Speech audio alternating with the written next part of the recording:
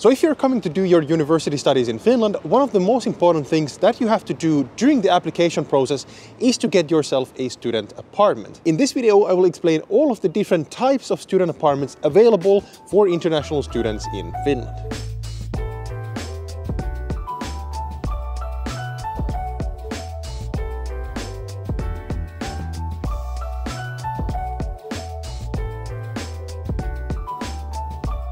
What's up guys and welcome back to the channel, it's Oliver here. Alright, so what kind of housing options are there for students in Finland? The first and also the most common and also the most affordable of these options is a room in a shared apartment. In shared apartments, you rent a private room in a larger apartment that you share with one or more other people. However, before you think about movies, about college in the US, it's really good to understand that a shared apartment is not the same as a dorm room where you would share the bedroom with someone else. Rather, in shared apartments, each tenant has their own lockable room that you do not share with other people. However, the kitchen, toilet and bathrooms are shared between all the different tenants. Also good to know that most of the shared student apartments in Finland are unfurnished, but each of the private rooms should have a wardrobe for your private storage. In addition, the shared kitchens are equipped with a fridge, freezer and a stove, but if you want to get a water boiler, microwave oven or for example a coffee maker, you have to buy these on your own.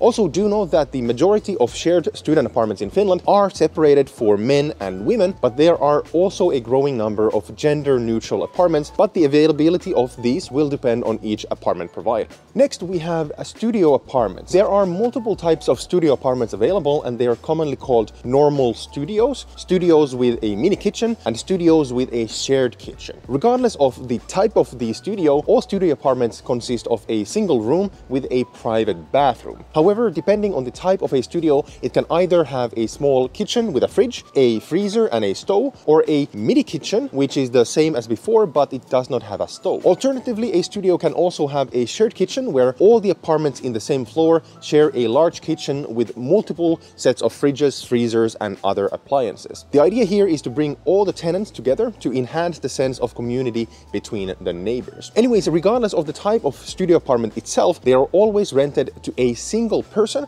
and they cannot be shared by other people. Just like in the shared apartments, studio apartments most often come unfurnished but with pre-installed wardrobes for storage. So what is really important to understand is that studio apartments are extremely popular and the waiting times for them can be anything between several months to even a year or two. So if you are interested in renting a studio apartment, please make sure to apply for them as early as possible. Okay, so next we have two room apartments that are rented for a single person. Simply put, two room apartments have a separate bedroom, living room and a bathroom with the addition of a cooking space. Most of these kitchens come equipped with a fridge, freezer and a stove, just like in most studio apartments. Because these apartments are a bit larger than studios, they can often be a bit more expensive depending on the location. However, the waiting times for two room apartments are also a bit shorter compared to studios. So talking about student apartments, if you're coming to study in the Finnish capital region, I really recommend that you check out the apartments from today's sponsor, which is HOAS. So HOAS, or the Foundation for Student Housing in the Helsinki region,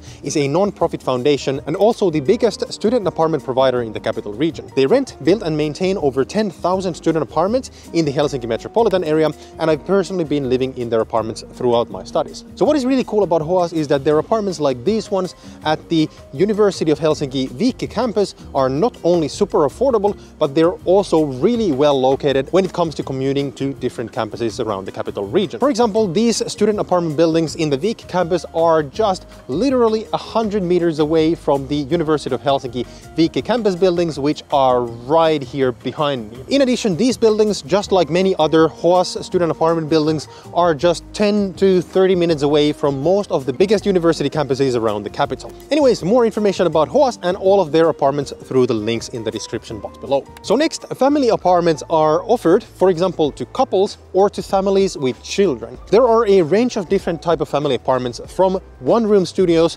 to four-room apartments with a range of different kitchen configurations. Do note that most family apartments come unfurnished, but the standard wardrobes, fridges, freezers and stoves do come with the package as described with the previous apartment types. Family apartments are also often located in family-friendly locations where the needs of the children have been taken into account. In addition to being designed for families, family apartments have one major difference to all other different type of student apartments. This is that only one of the tenants needs to be a student. So for example, if you move to Finland to study and your spouse comes with you with a work visa, you can apply for a student family apartment even if only one of you is studying. However, do know that these apartments are rented on joint tenancy agreements, meaning that the tenants share the responsibility for the rent and other legalities. Just as an example, me and my girlfriend have been living in a two-room family apartment for quite a while now, and even though I have already graduated, we can stay there because my girlfriend is still studying full-time. Great, so next we have a super interesting apartment type, which is a furnished studio with a shared kitchen. So furnished studios are basically the same as the studios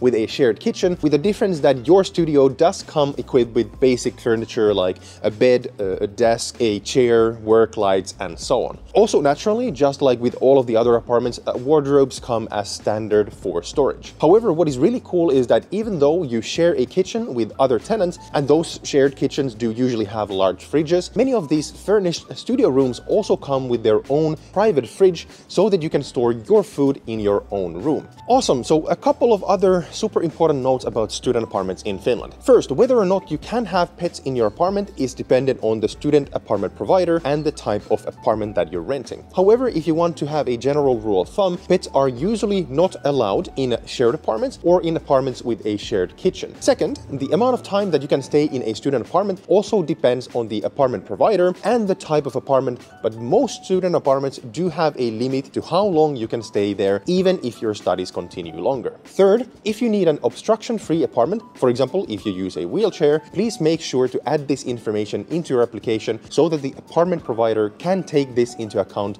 when offering you a place. Alright, so next I recommend that you watch this video where I explain how much it costs to live in Finland as an international student. Thanks again for watching guys, and I will see you in the next one. Bye.